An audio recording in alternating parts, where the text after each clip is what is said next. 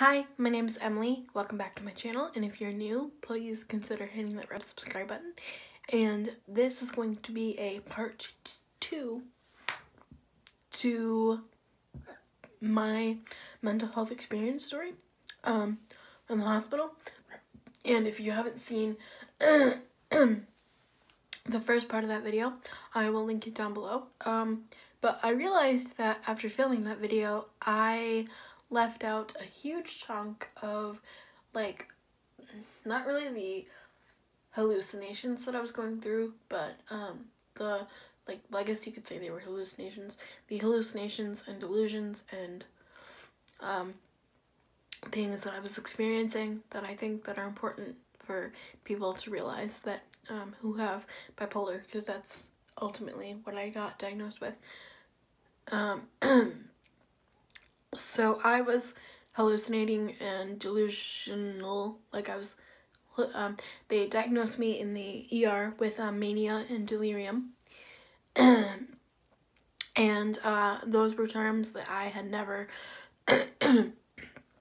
heard of before. Excuse me.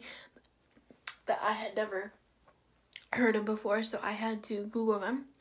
And uh, mania goes along with um, bipolar, and delirium goes with delirium because it's its own illness or its own part of the illness. Um, and I was, um, I just had a lot on my heart that I just kept spewing. Like, I had no filter. So, like, everything that I was feeling, experiencing, like, I just let it all go. Like, um, and a lot of it had to do with um, social media and social media bullying that I was experiencing. Um,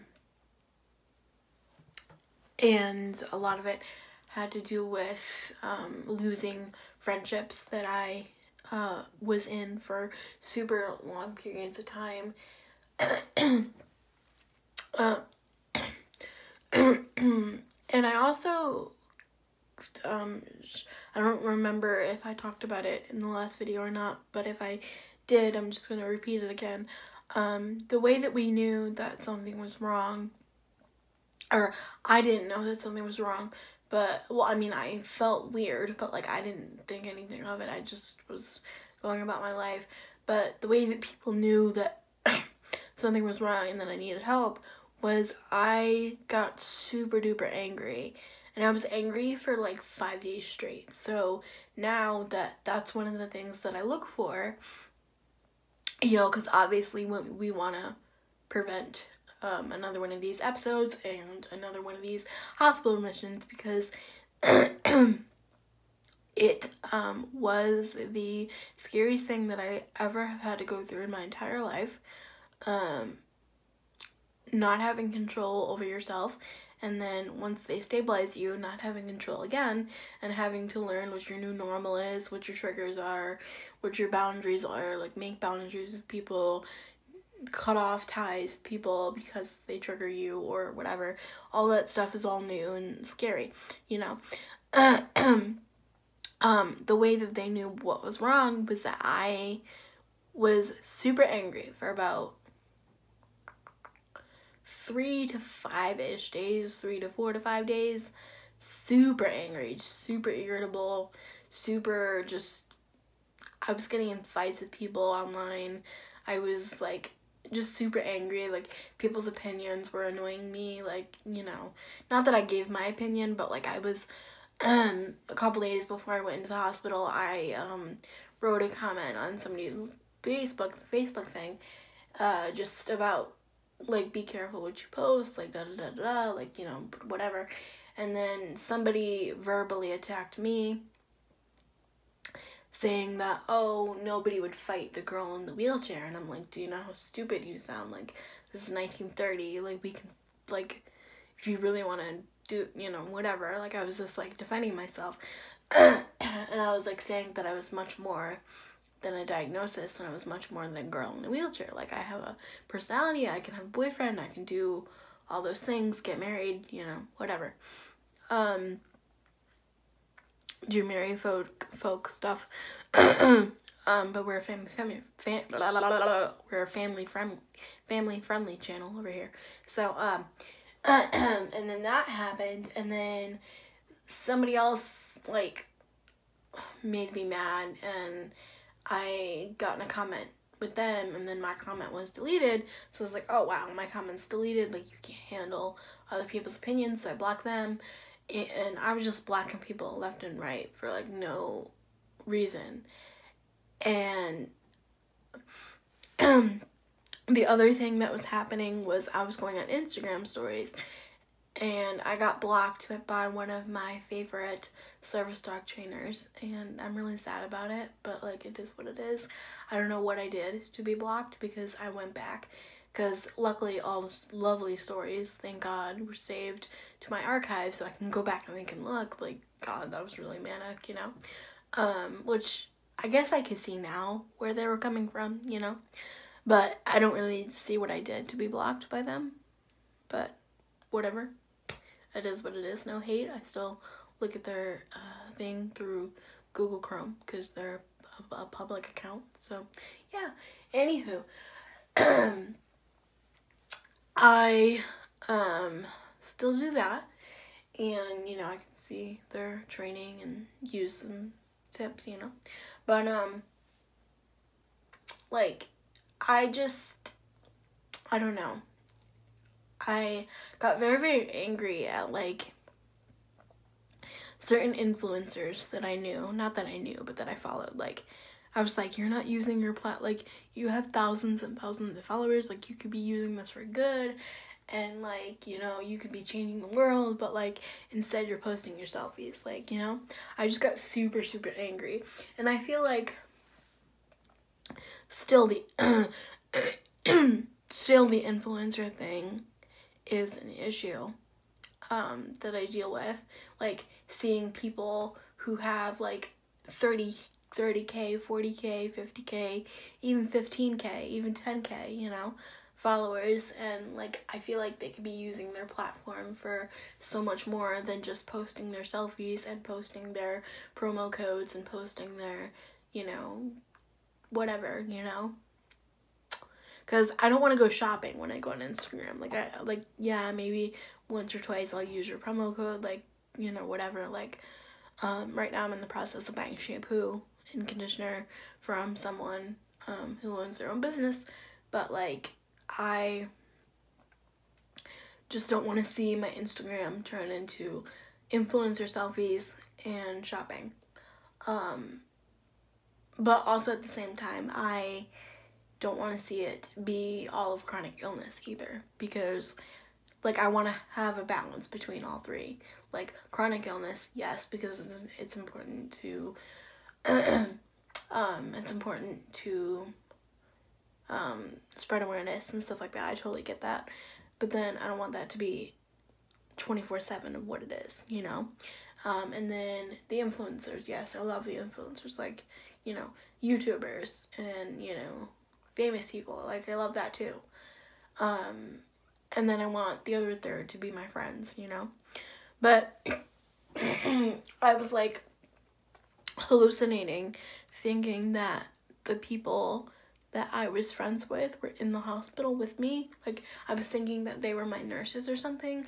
So I would be like, oh my god, hi, Susie Smith. Like, I'm not gonna use names, but I would be like, oh my god, hi, Susie Smith. Do you remember me? You blocked me when I stopped being friends, when I um, was friends with da da da da da. Like, you know what I mean?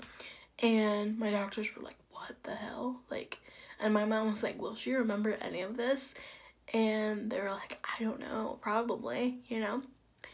And I just had let a lot of myself go, like a lot of myself just open up. It just felt like the floodgates just like, you know, um, because I just let it go and I was like, well, I don't, like, you know, I'm in the hospital, nobody can say anything, like, I don't have my phone, I'm not posting or anything, so I just let it go, and I was like, well, I don't like this one because they're fake. And you know I blocked them. And you know I don't like this one because they're you know rude. And they were rude to me. And you know I had went through um, even to this day I still continue to go through my media. And I continue to get rid of people that I don't um not that we don't share the same opinion, but like even some of my own family members, I'm not friends with them on social media anymore because we just don't share the same opinion. We don't we're not gonna agree to disagree.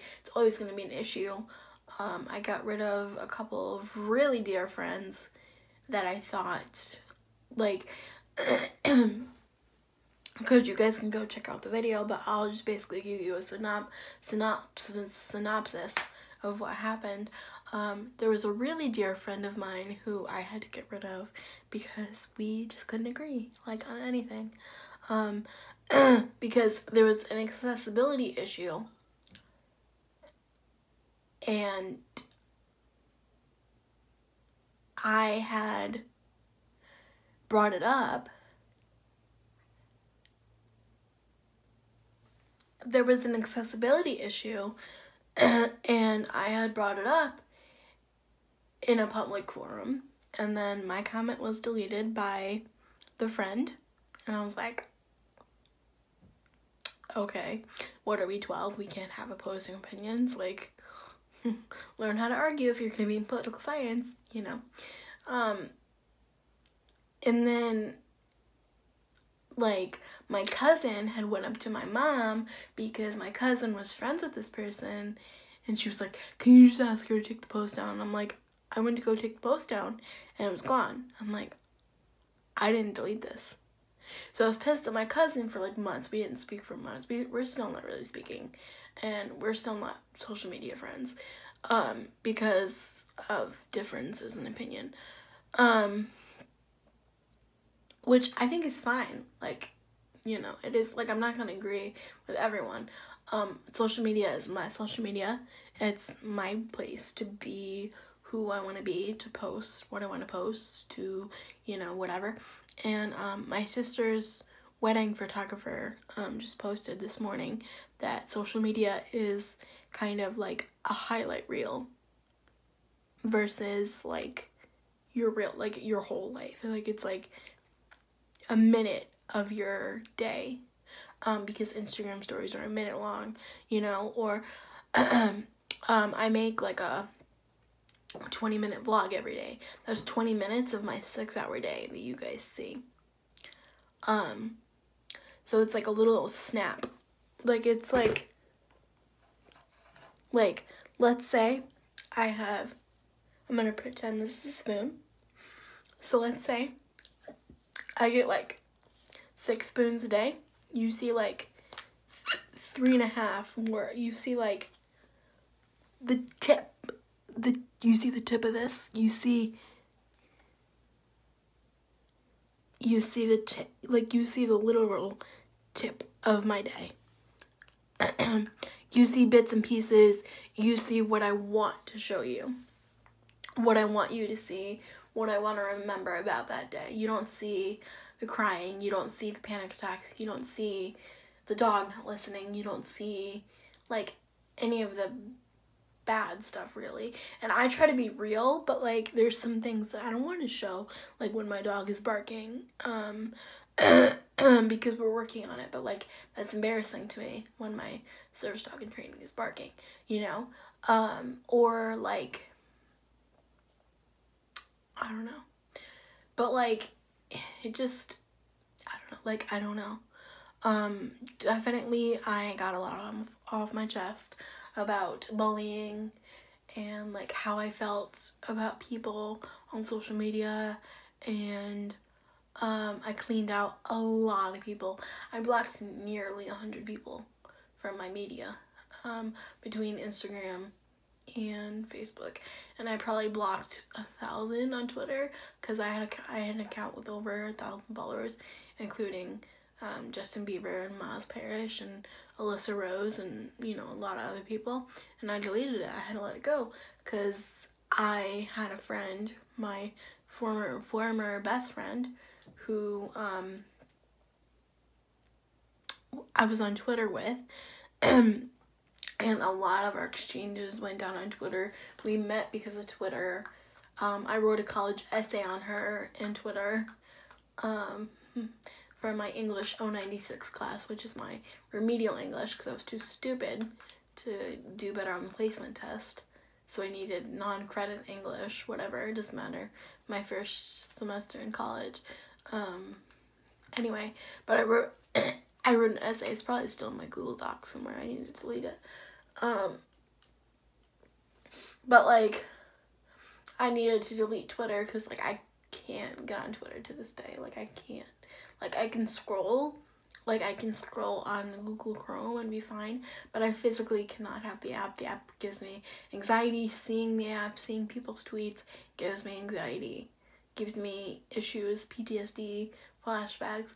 And I'm not claiming that I have PTSD, but I've been through a lot in the last year, and I've been through a lot in my life to claim that I do, because I do. Like, I really do get anxious when I see Twitter. Um, just because it brings back memories, like some good memories, but some not so good memories of people bullying me on Twitter, of people like just being themselves, like whatever. But yeah, um, definitely there was a lot of talk of bullying. Um, and there was a lot of talk about people who are no longer in my life. And social media just broke me and I was broken and it broke me down and I thought about leaving it for a while but I only ceased posting videos for two weeks on YouTube. Um, YouTube, um, two weeks to get my mind straight, to get the medication straight, to get everything straight, and then we were back to regularly scheduled programming.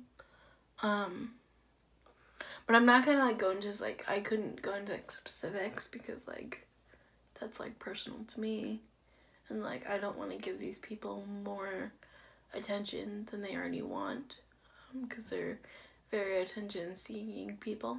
So, but just know that social media literally broke me.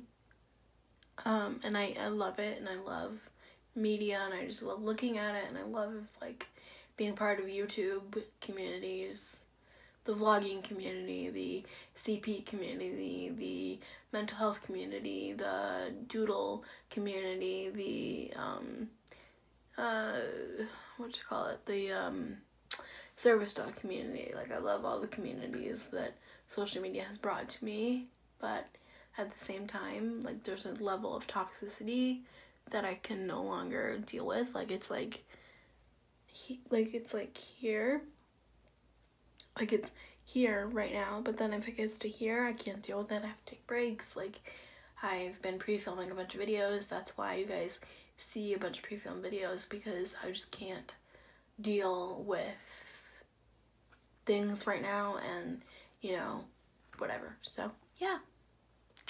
that's the story of how social media broke me